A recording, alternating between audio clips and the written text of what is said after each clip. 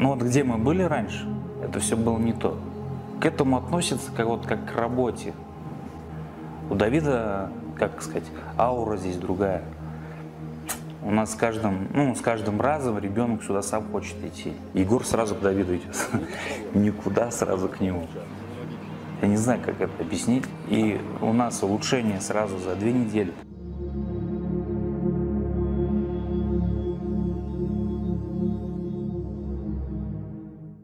Родах это была родовая травма, она себя не проявляла, ну, где-то, может, год, до года, пол, до полтора, как они начали ползать, и он начинает пытаться вставать на ноги. Они даже говорили эти слова «папа», «мама», мы все это слышали, а потом начался просто регресс, резкий, просто сразу. Мы сначала подумали слух, что у него со слухом проблемы, потому что он ни на что не реагировал, ничего не слышал. Проверяли слух, как бы даже делали операцию, как бы нам сказали, у него в ушах сера не выходит, то есть и надо операцию делать. Мы сделали. Ну, как бы ничем не помогло это. Да. В больнице нам тоже ничего не говорили до трех лет. В три года мы пошли на обследование к врачу, к нашему детскому.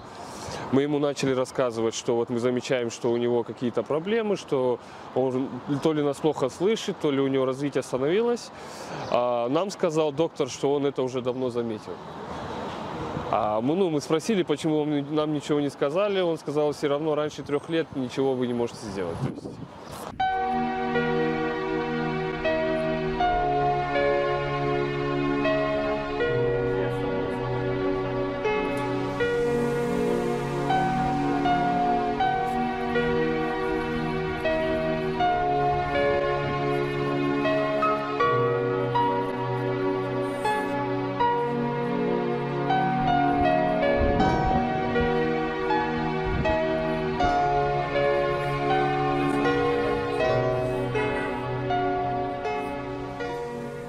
Долго не могли поставить диагноз правильный, то психическое расстройство, то еще что-то. И только единственный э, психиатр краевой поставил диагноз, что у него расстройство аутичного спектра, то есть аутизм. Это не то, что шок был. Я вплоть было до таких скандалов, что начинают уже родители обвинять друг друга, кто в этом виноват. Были такие моменты. Как его только не называли, там, допустим, и дурачок, там, и ненормальный, да. Это обидно, конечно, слышать, но это факт есть факт что, о, посмотри, какой ребенок, он дурачок, или, ну, мы проходим мимо, там, у него уже поведение, он может прыгать, может истерику закатить. И когда ты проходишь, они уже тебя за спиной и говорят такие вещи. Ну, поначалу зацикливались, конечно, на, на этом, очень сильно это цепляло, даже несколько раз ругался. То есть, ну, а потом, как бы, как мне посоветовали, а, забить на всех. А, мой ребенок со мной, это мой мир, то есть, как, кто, относится, какого мнения, мне совершенно наплевать. Я начал в интернете искать людей, у кого такие же точно проблемы. Списался с одной женщиной, она из Казахстана. И давай, давай вышел на видео Бардавид клиники.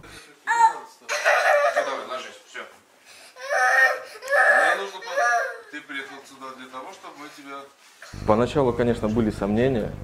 Ну, интернет интернетом, видео видео. Время был в командировке длительное. И мне вот это позволило увидеть весь сдвиги ребенка. У меня не было 4 месяца дома. Я видел, какой он был до, какой он стал за эти 4 месяца. То есть ощутимые были результаты сразу. И это вселило надежду, конечно, не шуточную. И мы вот собрали всеми силами, чтобы попасть сюда. А потом значит, вот так вот, да? Вот так. Опускаешь, поднимаешь. Давай. Сам. Раз, два, вот вверх, сюда. Раз, Два, да, да, не, нет, нет, нет, не так. Ну, туда не смотришь. Дом урон положи. Мы до того, как вообще узнали про этот центр, мы еще три года вот по разным ездили. Ну, вот именно вот такого, такой работы с детьми я еще вообще нигде не видел.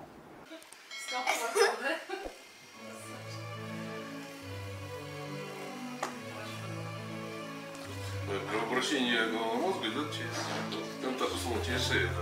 Когда там зажато или низкий тонус Как ни странно, врачей у меня дети боятся. Ну, просто не любят белые халаты. Но к Давиду они просто, как сказать, они его не то что опасались, они к нему приглядывались. А потом, не знаю, как он с ними общий язык находит, сразу после первого же сеанса все.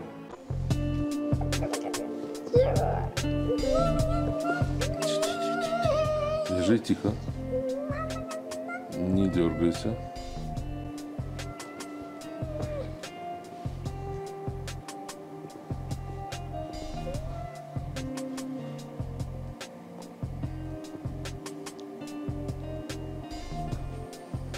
Выходим с лечения, он говорит спасибо, до свидания. То есть вот такое он уже может сказать. Раньше такого не было. То есть э, на- начал еще больше э, как нами интересоваться, то есть на нас обращать внимание. Разглядывать глаза, уши, волосы, нос. Ну вот такое я начал. Больше интерес к нам стал проявлять как-то. Со сном у него здесь изменилось то, что он начал днем спать. После лечения мы приходим домой, он раздевается, идет под одеяло и ложится спать. То есть такого в жизни не было, как бы, да. Ну, значит, подается лечению, и если хочет отдыхать, пусть отдыхает. Давиду с я бы сказал, огромное спасибо. Как бы, это люди, которые с Божьей помощью помогают детям таким, да, и мы им очень-очень благодарны, как бы, мы их никогда не забудем, потому что без них э, они нам дали надежду, да, на то, что наш ребенок будет полностью здоров.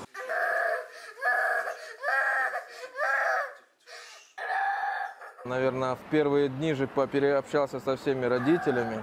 Ну, хотел узнать их проблемы. Я слушал советов много, но брал в голову то, что говорил Давид. И он мне дал понять, что работать надо будет с ним в любом случае. То есть не, не так, что там здесь посидели, все, у нас ребенок поменялся в корне, все, свою, все свои привычки эти бросил. Нет, так, так не будет.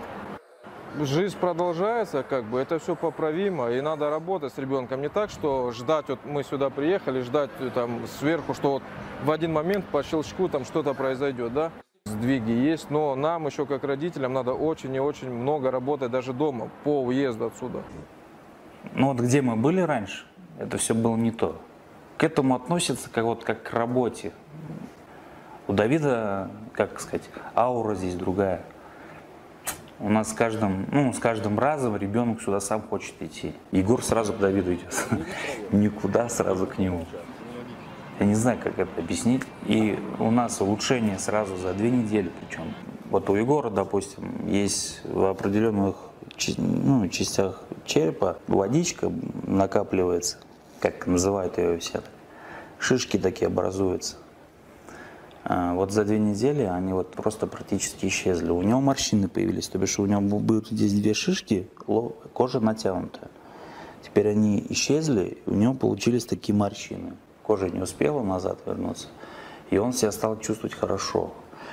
Они стали между собой контактировать, как вот все нормальные дети. Нет?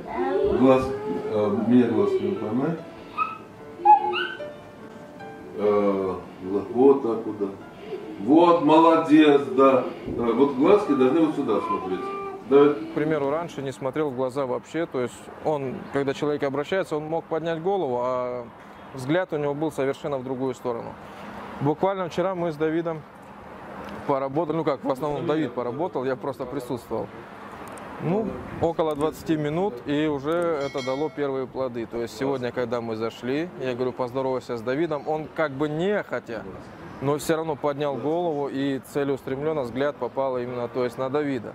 Все равно ты со временем, вот если ничего не делаешь для ребенка, вообще ничего, он, в принципе, не развивается, он стоит, ты к нему привыкаешь, привыкаешь, что, ну, кричит он и кричит там. Ну, Давид тоже подсказывает, как нужно с детьми работать. Нужно менять свой подход.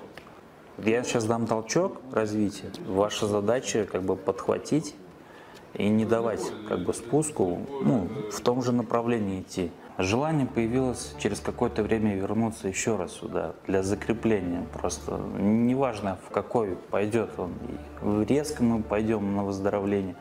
Просто хочется еще раз вернуться сюда. М, Тем, кто не верит, лучше один раз попробовать, чем потом, ну как жалеть, что они этого не сделали. Пойдем на выздоровление, пойдем в коррекционную школу. Неважно, каком там направлении, как все дети или чуть позже, это все равно будет.